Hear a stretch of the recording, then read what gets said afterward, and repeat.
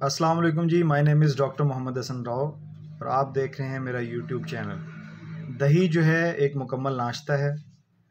जैसे कि आजकल रमज़ान है तो सहरी के अंदर दही में अगर कुछ फ्रूट्स और नट्स शामिल कर लिए जाएँ तो ये एक मुकम्मल सहरी के तौर पे इस्तेमाल हो सकती है।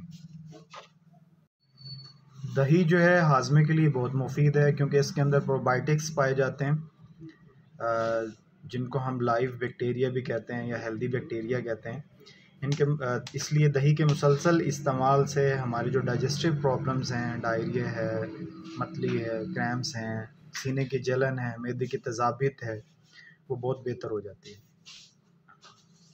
लो फैट योगर्ट जो है, दही जो है ये एक अच्छा प्रोटीन का सोर्स है तो जो लोग अपना वेट रिड्यूस करना चाहते हैं, वो वो अपनी वेट लॉस डाइट के अंदर इसको शामिल कर सकते हैं।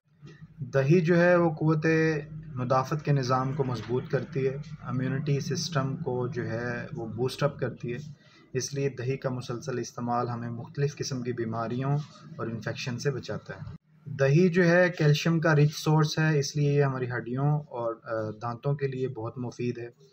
दही के मुसलसल इस्तेमाल से हमारी हड्डियाँ जो हैं वो फ्रैक्चर और ऑस्ट्रियो प्रोसेस के ख़तरे से बच जाती हैं।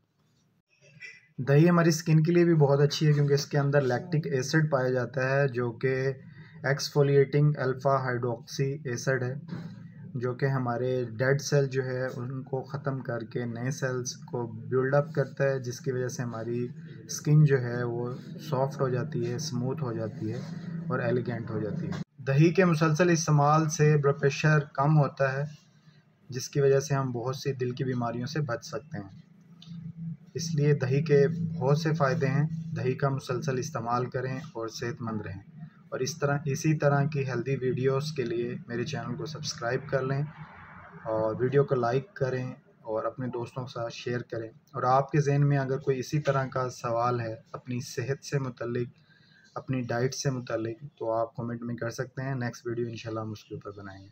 तब तक के लिए हेल्दी रहें, खुश रहें। अल्लाह हाफ़